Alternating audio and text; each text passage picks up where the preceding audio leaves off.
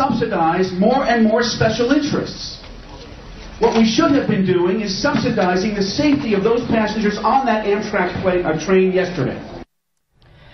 And of course, actually, we don't know yet what caused that derailment. We don't know if it was a specific problem with infrastructure. Well, we know that the train was going uh, 106 miles an hour at the time of the crash. Uh, welcome back, folks. It's time for the Malzberg panel. Jane Velez Mitchell, founder of JaneUnchained.com and author of the New York Times bestseller Exposed, The Secret Life of Jodi Arias, and Larry Elder, radio host and, of course, the author of Dear Father, Dear Son, Two Lives eight hours. And uh, Jane, I know you ride the uh, that, that that train route on Amtrak uh, back and forth to D.C. quite often. But you know, for to have uh, Steve Israel, a very prominent Democrat, to exploit the tragedy, blaming it on a lack of uh, uh, attention to infrastructure, is just outrageous. Well, it is a lack of attention to infrastructure, with all due respect, Steve.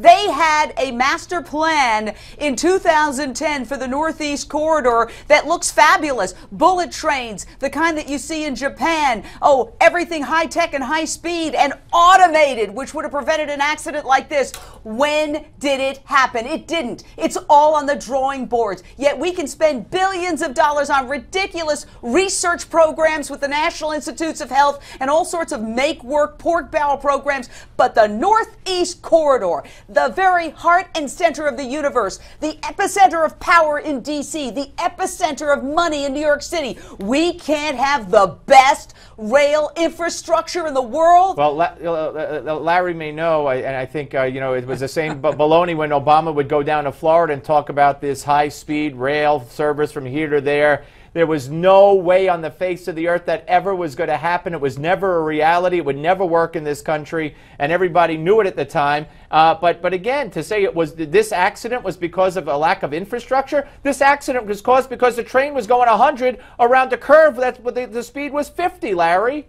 What, what did uh, Rahm Emanuel say? Never, Never let a waste an opportunity go to, go to, to, exploit a tragedy. Uh, right. This is this is an opportunity to to uh, to expand the government, to get the government more more involved in a sector that the government should not have been involved in the first place. Amtrak loses money hand over fist. Uh, it never should have been run by the government. And I'd like to see the the safety record of government-run railroads versus privately run railroads, and let's see which one is superior. Jane. Well, let's take a look at the Japanese rail system that has an incredible safety record and also happens to be automated. Had we improved our infrastructure, this accident would not have happened because if you had been completely automated, there are safeguards in place that automatically slow the train. But Jane, we had uh, there was a whole stimulus bill under Obama and the Democrats in 09 and there was a trillion dollars in infrastructure. What that's, happened that's to it? Well, That's the whole point, Steve. We spend more money than Europe does on infrastructure, and the left wants to spend even more. Again, more money than, than Western-style European democracies spend on infrastructure, and it's still not enough. Larry, it took me seven hours when I drove from Washington, D.C. to New York just the other day. We need a rail system, and we need the best rail system between the two most important cities if in the world. New York City and Washington, D.C. What's Jane, wrong with that? Jane, if the need is there, then the private sector should step up. Pass the hat. Have some of your rich buddies invest and build a system. oh, were they supposed to? What are they supposed to do? Just charge onto the tracks and throw off the Amtrak trains and say we're going to privatize all the rails? Well, yes, that's exactly what they ought to do. Same as same as we got uh, the government out of out of running rail, railroads, running uh, running airlines. We should deregulate. And we have uh, and we have FedEx and we have UPS and we have competition that, that you know that took a lot of business away from another failed business that the government runs that loses billions hand over fist, and that's the post office. They don't belong in there. They don't belong in the railroads, and that's why airline travel is much more safe than railroad travel. Don't go away. We're coming back with more of the panel on the Steve Malzberg Show.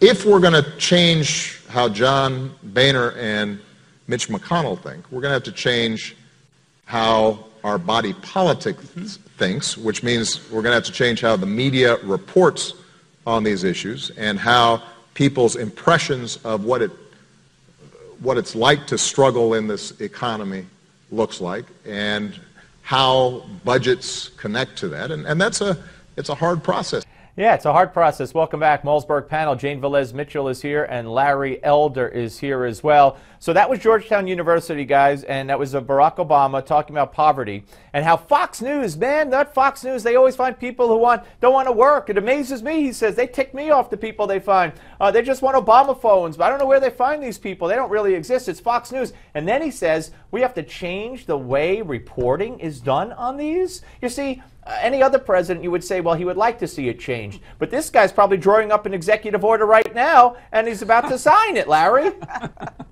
You know, I, I, just love it when Obama talks about relating to the poor. This is a guy who grew up in the mean streets of Hawaii, went to the finest prep school, Punahou in Hawaii. His grandparents who raised him, uh, his grandfather was a successful salesman. His mom was a, uh, an executive at a bank. His mother had a, a PhD in anthropology. His father had a PhD uh, in, in, economics. Uh, and Obama, I don't think he ever set foot in, in, a, in, a, public school. He went to Oxy out here in L.A., then he went to Columbia, then to Harvard, then he worked for a chichi, uh, a pricey uh, law firm in Chicago where the starting salary for a 25-year-old is 160 grand. And here he is talking about relating to the poor. It's a joke. In his autobiography, by the way, he never mentioned that he was raised on food stamps, which he suddenly discovered during the campaign of 2008. Well, Larry, Larry. In, in, all fairness, Jane, I'll let you go, but in all fairness, he did lock himself in a van and smoke pot, and they shut the well, window so that, that, the smoke wouldn't escape, and he did steal the and go out of turn so he could get some more drags on the cigarette. I mean, let's give him that, Jane.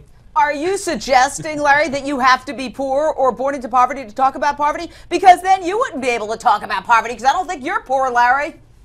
Well, my, my father worked two jobs as a janitor, Jane, uh, and he uh, does not know who his biological father is. Left home when he was 13 years old.